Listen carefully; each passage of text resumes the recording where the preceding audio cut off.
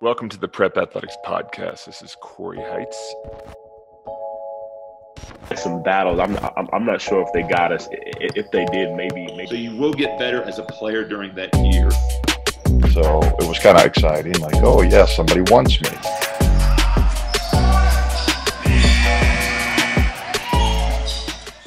My name is Cory Heitz, and welcome to the first episode of the Prep Athletics Podcast.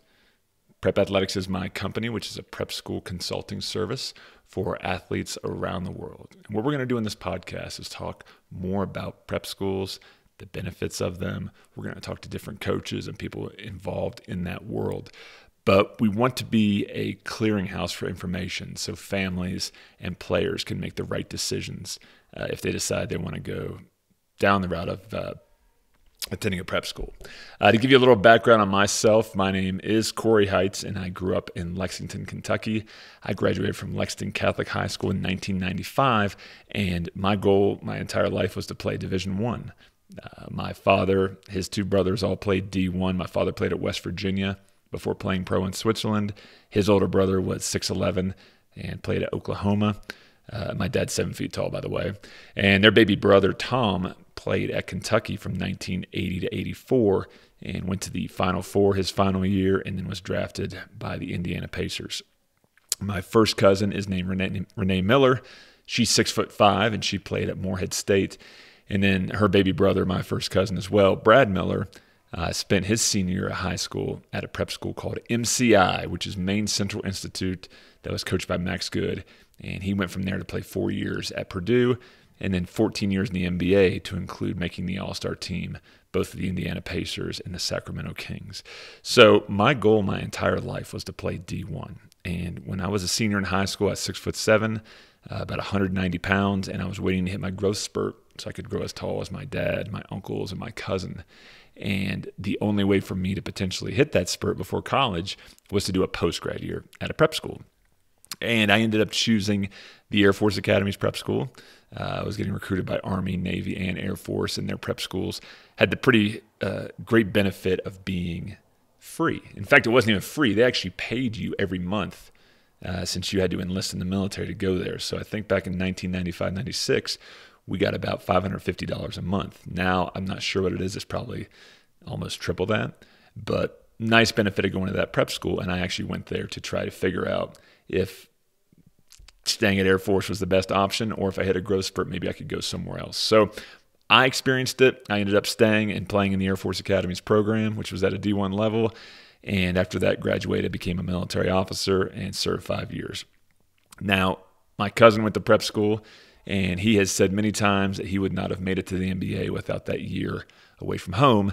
And if I don't go to the Air Force Academy's prep school, I, am not playing D1. So the reason I'm so passionate about this topic is that it's directly affected the trajectory of my family's outcome. My cousin's not having the NBA career he's having. I'm not getting the education playing where I wanted to play without prep schools. So, what I've been doing since 2008 is trying to help families decipher among all these prep school options out there. And we'll get into more details between prep schools and basketball academies and some of the different sizes, shapes, and flavors of all these schools. But this being the first episode of the podcast, I want to go over just a few basics on what is a prep school and what are the benefits of playing basketball at one. So, a prep school is a private boarding school. Some of these schools have day students, but a majority of them that we're going to talk about for this conversation is a boarding school. So, there's dorms, there's gyms, there's administration, there's real teachers in classrooms with normally smaller class sizes, and they're usually in pretty beautiful places. About 95% of the ones that uh, I deal with are in the East Coast, mostly in New England. There's a few sprinkled throughout, and about the farthest one going west uh, is Lake Forest Academy in Chicago, Illinois. So there are a lot of options out there. Like I said, they're all different. One of them, such as West Nottingham Academy, up in northern Maryland was actually founded in 1746 before the U.S. was even a country. So there's a lot of history with these prep schools, um, and what we're going to talk about today is the are the basketball benefits of it. In future episodes, we'll talk about the academic benefits, the cultural benefits, the maturity that can happen. But just for today's episode, we're going to focus on the basketball part of it. So, what's one of the first advantages of going to a prep school for basketball? Well, one, the coaching is normally superior than your average high school.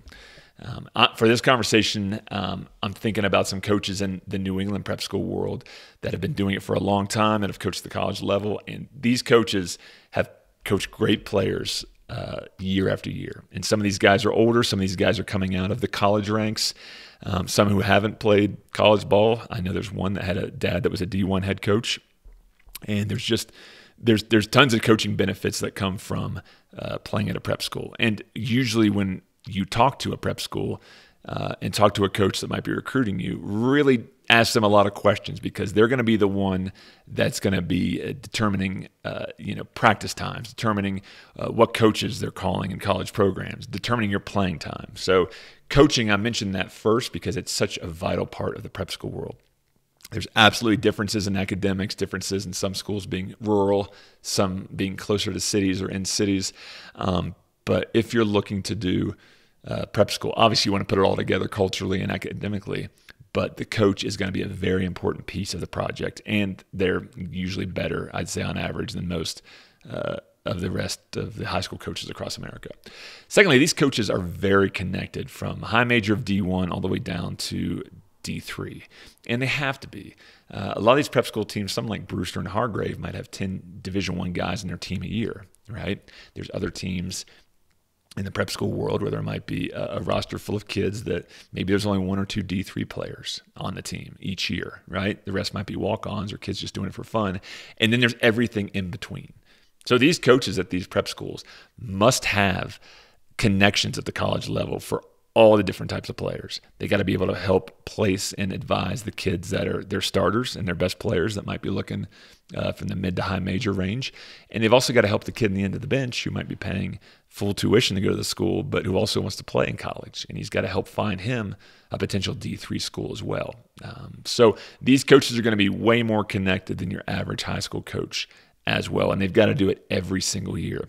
A school like Bridgton Academy in Maine is similar to John Calipari in Kentucky, to where it's strictly a post grad school. So every year, Coach Whit Lesure is getting 12 new kids on his roster, and every year he's got to place 12 kids at varying degrees of levels in the college ranks. So for him, he's got to have that that wide. Uh, range of contacts and he's going to have that more than your average high school coach who might have a family who might not live on campus, who might have uh, you know, be teaching four history classes, who might just not have the connections um, since they haven't been involved with it as much as some of these prep school coaches. So the coaching on the court uh, and then the relationship these coaches have with colleges is a huge advantage right there. Also, another thing too is daily practice. All right. A lot of kids come from good high school programs where they're the man, and maybe they don't get challenged every day because the guy guarding them is just not gonna is not going to push them. Most of these prep schools, you will go there and you will not be the best player on the team. All right. Even if you are the best player, you're at least going to have someone good behind you pushing you every day in practice. So the competition in the prep school world is much better than your average high school out there. If you go to Brewster Academy or Hargrave, you've got five on five practices where it's five D1 guys against five D1 guys. And just through osmosis, you're going to get better, right? Let alone all the work and extra skill set you're going to be putting in against other good players. So, something there to consider, okay? Um, you'll also play in front of more college programs and scouts, all right? One thing I want to mention about the prep school world that's that's pretty neat and unique is the open gym period they run. And we're going to assume right now for this conversation that this is non-COVID times because right now in the 2020-21 season, COVID has kind of shaken things up.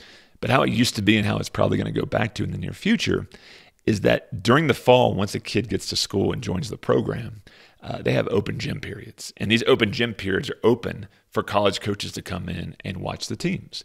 And the nice thing about this in New England is there's a lot of schools that are near each other uh, geographically, right? Might be 20 miles away from one school, might be 15 miles away from another. And they all work in conjunction with each other, with these neighboring schools, to set up their open gym time so a college coach can see all three schools in one day.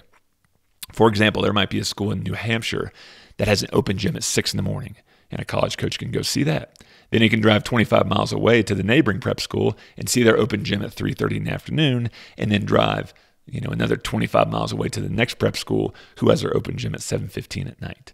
So if I'm a college coach, I can fly to a major city, see one practice, maybe see one kid, and then have to fly back. Or I can go to New England, spend 5 days there and see three open gyms each day for 5 days. So you're getting way more bang for your buck and as a player, you're going to have way more eyes on you uh, during this open gym period than you would at a normal high school.